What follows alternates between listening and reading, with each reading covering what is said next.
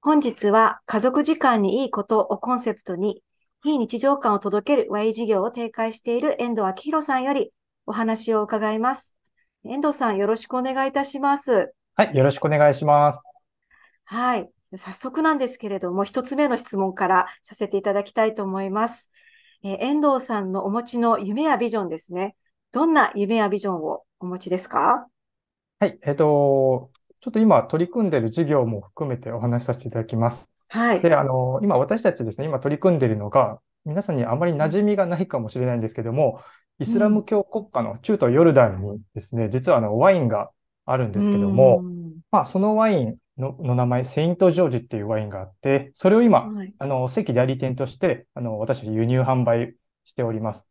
で、そのワイン事業の名前が、ちょっとズーモットジャパンという事業でやっているので、うんうん、あの、今日ですね、ズーモットジャパンの遠藤として少しお話を、はい、させていただくんですけども、はい、まあ、このワイン事業が、えっと、今、妻と、まあ、1歳半になる息子も含めて、家族3人で、うん、あの、やっているような事業になるんですけども、はい、あの今、ワイン事業以外にもあのデデザイン事業もあの妻と2人、あの3人でやっていまして、はい。元としては今、デザイン事業と、はい、ワイン事業が軸なあの家族事業のあの仕事をしています。なるほど。で、まあ、私たちです、あのビジョンとしても、あの会社に属さず、あの、はい、家族でまあ協力して、あの個々のまあ可能性だったり、家族としてのあの家族単位での可能性っていうのを最大限にまあ、活かしながら、まあ、楽しみながら事業を展開していくっていうのを実践しておりまして、まあ、なかなか今の昨今、こう、物価高騰とか、あまあ、いろいろとこう、低賃金とかいろいろ会社で働くってこと、いろいろなこと言われてると思うんですけども、はい。あの、まあ、私もそういった目線、まあ、そういった目線もあるんですけど、まあ、自らまあそういう状況でもですね、あの、目線を変えて、まあ、家族単位で楽しめるような事業を展開していくことで、まあ、次の世代とか、あの、今、家族の時間がなかなか取れないっていう、うん、あの、家族の方も多いと思うんですけどそういったところにちょっとこう、モデル、ロールモデルじゃないですけど、うん、あの、まあ、家族単位でもこうやって時間が作れて、まあ、楽しい授業をやりながら、まあ、生きていくという選択肢もあるよっていうのをちょっと示せれるように、今、いろいろとその事業を取り組んでいるところで、今、ちょうどワイン事業が始まったところになります。なるほど。なんかやっぱり新しいその働き方のロールモデルみたいなイメージですかね。あ、そうですね。はい。ああ、それが家族、家族でやるっていうことでやってらっしゃるんですね。はい。ああ、はい、ありがとうございます。そうしましたら、その、今言ってくださった、まあ、作っていくっていう、夢やビジョンを作っていくってことところで、今のその夢やビジョンに向けての目標や計画ですね。どういった目標や計画をお持ちではい、やっていらっしゃるのか、聞かせてください。はい、えっと、はい、今ですね、そのデザインとちょっとワイン事業あるんですが、今回はそのワイン事業でお話しさせていただくんですけども、うん、はい。はい、あの、まあ、中東とかアラブって聞くとですね、なかなかこう、イスラム教のイメージとかが強くて、うん。うん、強いですね。まあ、そもそもお酒 OK なのっていうところからいろいろ質問が あの始まったりとか、まあ、ヨルダンっていう時点で、うん、まあ、中東っぽいイメージはあると思うんですけど、はい、まあ、どこなのって思ってしまうのがあの大半なんですけども、はい。まあ、なかなかやっぱり中東って言ったら途上国っていうイメージもあったりして、うん、まあ、いわゆる日本でその途上国って呼ばれる国々の商品とかものっていうのが、なかなかこう、いいものもあるんですけど、やっぱりあの、最終的にはこう、途上国のものっていうところであの、イメージが止まってしまう。あの、ちょっとイメージが弱いってところがあるので、今そういったところで払拭しながら、まあ、あの、ヨルダンの魅力を伝えていくっていうところをですね、あの、力を入れて今やっているところですね。なるほど。じゃあ、そのワイン、そもそもそうですよね。その、さっきもおっしゃられたんですけど、宗教上の問題でね、あのーやっぱりお酒すら飲んでるのっていうエリアから、その、そもそもやっぱ輸入をしようと思ったきっかけとかもあるってことですもんね。ちょっとそれ、後ほどね、詳しく聞いていくことになると思うんですけど。はい。うん、はい、ありがとうございます。じゃあ、その、今言ってくださったその計画ですよね。目標計画に向かって今、その活動されていることがあると思うんですけれども、はい、はい、あの、活動されていることについて、今度聞かせていただけますか？はい。なので、はい、今、ちょっと途上国のものっていうところで、うん、あのー、終わってしまってはもったいない商材を今、私たちも輸入をあの、うん。輸入販売すると決めて動いているんですけども、はい。やっぱりあの、まず美味しさの信頼とか、まあそういったところとして、あの、まあ、今食べログで1位とか、あの、3位のうん。お店さんにもメインボトルでうちのワイン置いていただいてるんですけども、ああ、そうなんですよ。まあ、そういったところにこう、入り込んでいったりとか、はい。まあ、信用性っていうところで、やっぱりあの、いくうらん。いいワインだよとか、あの、安全なワインだよって言ったとしても、なかなうん。うかこう、ん。個別、個々で言ってるとなかなかこの信用性が生まれないので、うまあ、そういうん。ところでは大使館の、在日大使館の大使ともちょっとお会いをして、おまあ、そういうところでちょっとおー、話も通してこう PR 活動しながら、あすごいですね。のうん。なかなかそういうところに、まあ、企業さんとかワインのインポーターだったら入り込めるかもしれないんですけど、はい。まあ、ちょっとこう難しそうだなみたいなところに、やっぱ家うん。族っていう単体だけでこう乗り込んでいくってことができる、できれば、うなんかあん。の、今後、こう、こうやってもしあの家族単位でこう動く人たちも、うなんか、あ、ん。なんか別にこう、すごい大金をかけて動かなくてもできるんだとか、はい。あんまりこう、なんか会社じゃないと動けないとか、こういううことできないっん。うん。ていうふうな、なんかそういったイメージもちょっと払拭できるような、な、まあいろんなこう、ながらを、いろんな同時進行をやりながら今やってるんですけど、うなので、ん。現在のちょっと活動としては、そういうちょっとお店に、いいところに一回置いてもらって、まあ味もそこであの、ちょっと信用性増したりとか、まあ物たちの信頼はも大使館通してだったりとか、い。はまああい。とはやっぱりヨルダンの魅力をどうしても伝えていかなきゃいけないってところは、どうしても自分たちのうん。手でやった方がうん。うん。一番、あの、影う響もん。いいので、まあ、今はい。月からですね、ちょっと試しもあるんですけど、はい。あの、ちょっと愛知県の方で、まあ、このうちの取り扱っているワインをちょっと片手に飲み持って飲みながら、うまあ、私ん。うん。たちがちょっとこう、ヨルダンのお話だったり、うあん。とこのワインの、まあ、イスラム圏っていう、そのお酒禁止ね、あの、あんまりお、はい。お酒をよいいとしないこうイスラム教の人たちの。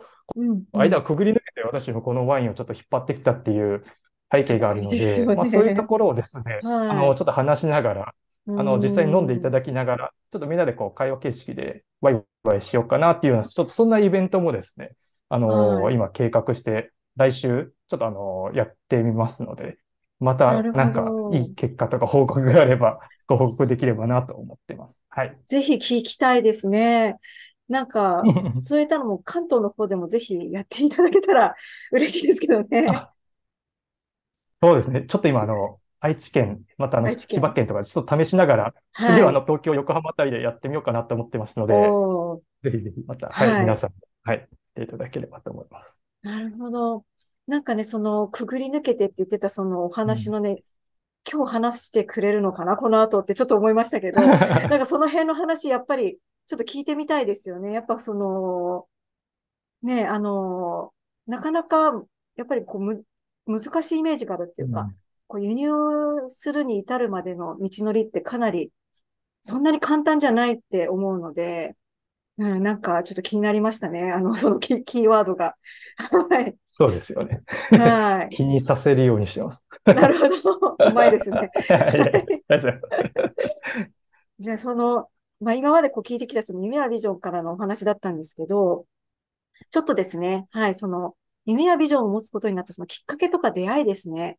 なんかその辺が、はい、ちょっと今ちょっと気になったようなお話も含めて話していただけるのかなってちょっと思いながら、ちょっとお聞きしたいなと思うんですけど。そうですよね。こはい。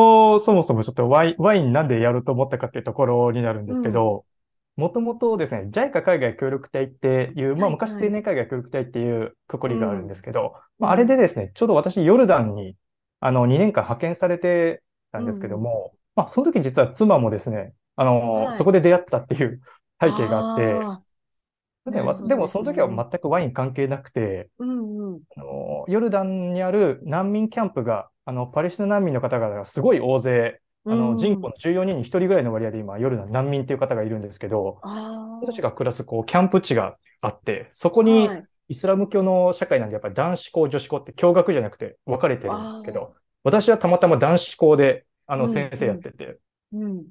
で、その真横で、妻が実は女子校で美術の先生をやっていて、うーん。で、私はちょっと一年、そうですね、半年ぐらい経つまで、妻の存在横、当時知らなくて、なんか日本はい。人入ってんなと思って、はい。でちょっと半年ぐらい経った時に初めて会って、まあそこから。のつながりで、まあ今ちょっと結婚してってところでう一緒に、ん、うん、まあヨルダンにもあの愛着があるっていうのもあって、まあこのうん。事業を一緒にやってるんですけど、はい。まあ、当時ちょっとあの、なかなかボランティアレベルだと、現地でもお酒ってワインってあったんですけど、なかなかちょっと。金額的に手出せなかったワインを今、うちが輸入しているセントジョージってワインにな、なるんですけど、のー、現地のちょっと駐在の大使館の方とか、商はい。社マンの方々が、そういうのうん。いいワインを飲んでて、うーん。時々飲み会にお呼ばれに行くと、ど。そういうワインを私も妻とこうみんなでワイワイして飲んでて、まあ、いつかこのワはイン、あの、輸入したいねって話をい。していはい。たっていうのと、あとやっぱりはい。JICA 海外協力隊に2年間、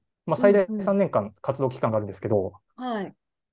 やっぱり2年間、あのーまあ、現地の支援っていうのをすごいやりきうん。ることはできたんですけど、満足度も高く終わったんですけど、はい。やっぱり2年間っていう期間うが縛ん。られていると結構、なんですかね、私の個人的な一人の人間が動くのにやっぱり限界があって、うで、かん。つ2年間っていうくくりのせいで、その後の、まあ、あの、うん。現地うん。の相棒とかの関わりって、やっぱり一回途絶えてしまって、ああ。まあ、そこからどうなってるのかちょっとわからなかったりするのがあって、やっぱりか携わるんだったらもうちょっと長期的にうん。何かヨルダンと携わりたいなっていうところがあったので、あの、なるほど。ワイン事業に最終的にはもう踏み切ろうっていう話で、まあ、うこれで今、あん。の、まあ、ちょっと運命的にもヨルダンでいろいろこう出会ったりとか、ヨルダンに派遣はい。されてたところがあったので、その縁を、あの、まあ、な、まあ、ゼロにしないように、うヨん。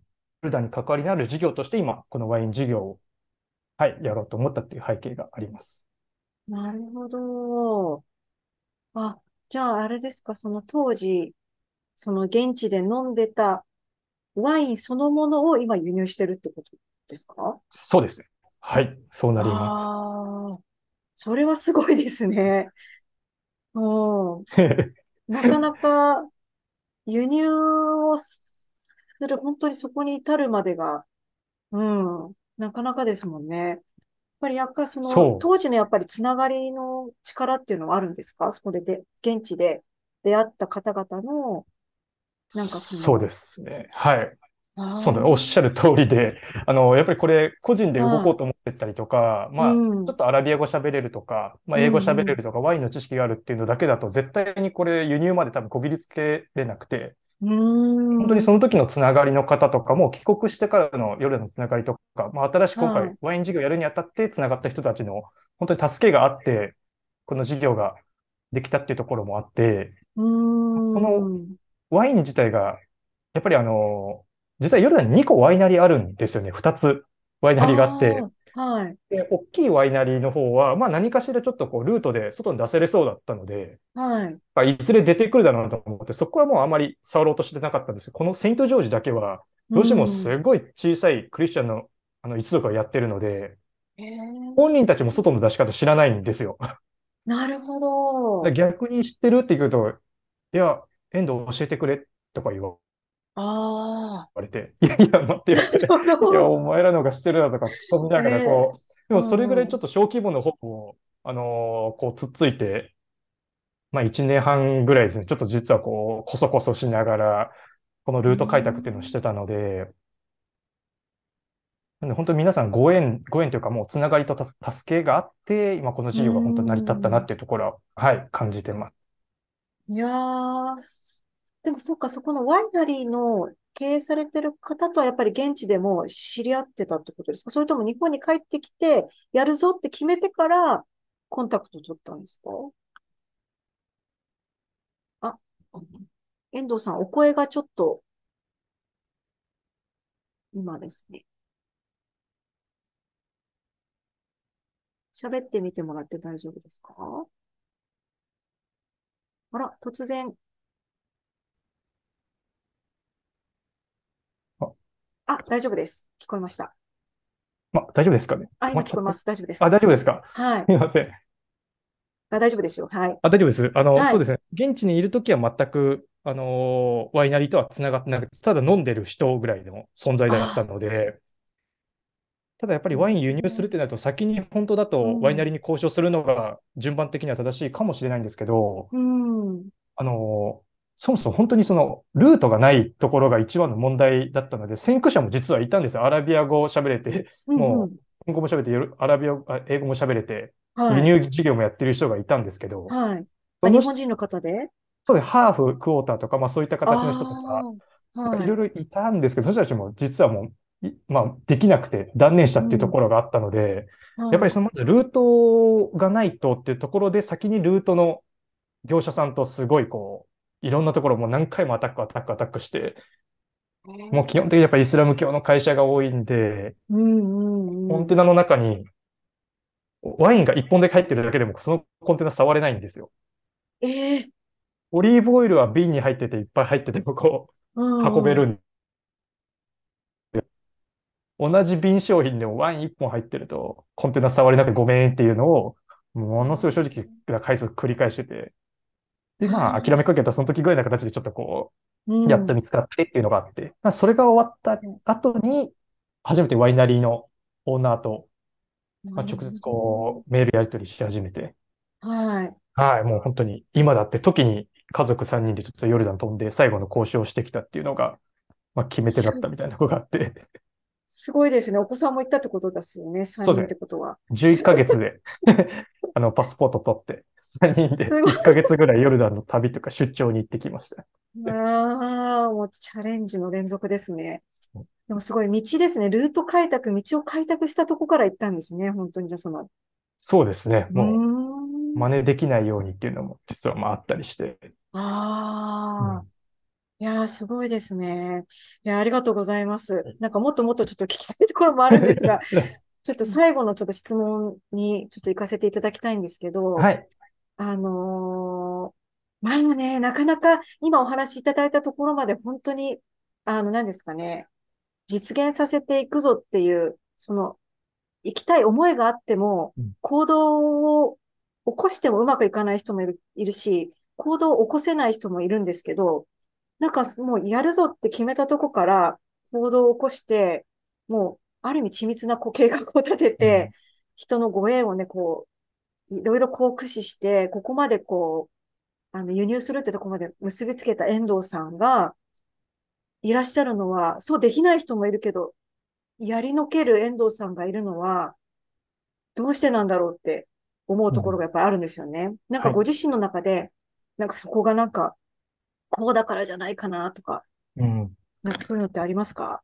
そうですね。今、そうん。の、まあ、ワイン事業とそのデ。ザインじ、デザイン事業大枠でっていうのはお伝えしたんですけど、はい。まああと、私たちもちょっと子育て支援とか、まあ、そういうのうんうん。もやっていくっていうところで、まあ、大元の、あはい。の、家族事業の屋号っていうのをワクトっていうふうに名はい。付けていて、まあ、このワクトっクト。名付けたのも、どんな、はい。意大丈味が。夫ですかね。はい、ワクトっていう意うん味が、アラビア語でちょっと時ってタイムの意味をしてるんですけど、ん。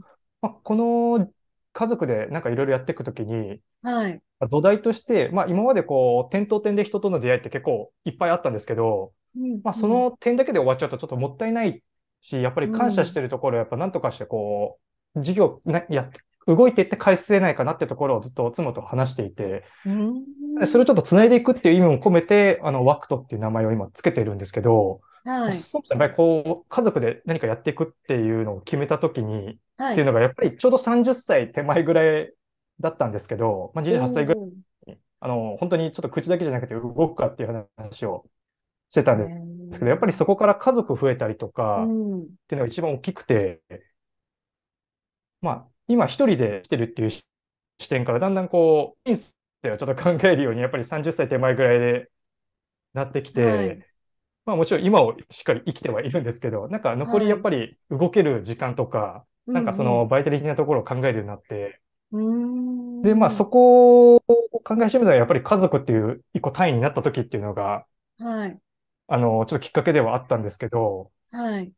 なんかやっぱり今後家族でこう生きていくっていうのがもう分かっている状態で、どうしたらうんなんかうん。家族としてもっとこう楽しく、うんうん。なんか時間にもまあ縛られず、うんうん。なんかやりがいを持って暮らしていけるのかなっていうのをすごい妻と二人で考えて、で。もちろんあの、なんか経済的なことを言うと、やっぱりはい。あの、お互い会社に属して2馬力で仕事した時のがやっぱり、なんですかね、あのーうん。所得みたいなのがボーンと大きかったんですけど、はい。なんか、あんま、あんまこんなにお金なくても別にいいなっていうのは正うん。直感じてて、貯うん。金すればうん。っていう形だったんですけど、はい。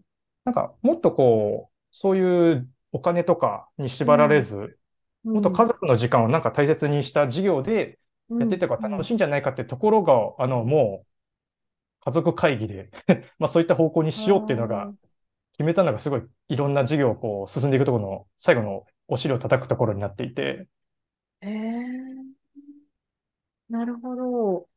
なんかでもそうですね。なんかこう、遠藤さんの場合、その奥さんもね、その家族会議を開いて、よし、やるぞってなって、まあ、やってると思うんですけど、なかなかそこの、やるぞってなっても、本当に具現化するところまで行くことってなかなか、なかなか難しいなって思う 私がいるんですよね。あれですか、なんかでも、む例えば昔から、なんかこう、やりたいと思ったことは必ず、こう実現させてきたとか、なんかそういうこう、なんか、遠藤さんのなんかうん、こう、ポリシーじゃないですけど、なんかそういったのってやっぱあるんですか？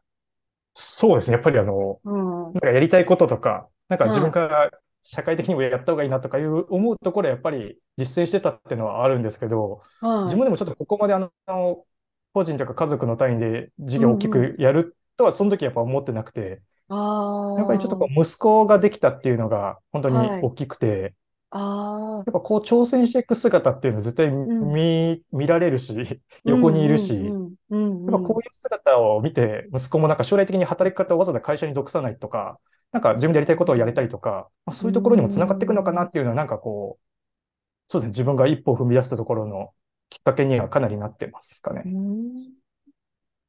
なるほど。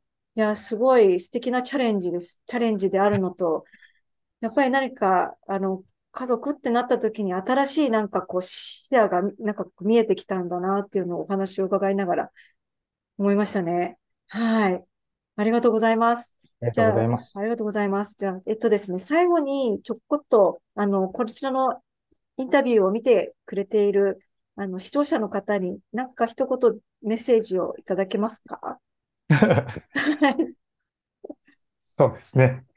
あ、か、これは事業、事業のことじゃなくてってことで、うん、何でも。大丈夫です。あ、はい。ですか。あのー今ですね、あのーまあ、次、今、あの、デザイン事業と、あのーうん、ワイン事業やってるんですけど、まあ、この売上の資金をもとに、次はちょっと子育て支援をやっていこうと思ってるんですけども、まずはやっぱり自分たちの、あの、や、やりたいこと、兼ちゃんとこう、売上を作っていくってことを今、一生懸命やっているんですけど、この後やっぱりここから、もうちょっと社会に何か貢献できないかなってところに、今後挑戦していうん、く予定ではあるので、うん、あの、まあ、ちょっと全国規模でね、子育て支援ができるかっていうのは、あの、できないと思うんですけど、やっぱり手の届く範囲で、なんかいろんなこう、自分たちの存在意義っていうのを、ちょっとずつこう、家族単位で出していければと思いますので、ぜひあの、何か家族で挑戦したいとか、なんかあの、一歩踏み出したいっていう方がいらっしゃったら、もしなんか、ちょっと一歩引っかかるなってところがあったら、あの、何かご相談いただければお役立ちできるかもしれませんので、あの、はい、質問何かあればご連絡ください。本日はありがとうございました。はい、素敵なメッセージありがとうございます。本当に、あの、とても素敵なお話を今日は伺えて、とても楽しかったです。ありがとうご。ざいます。はい、ありがとうございました。ありがとうございました。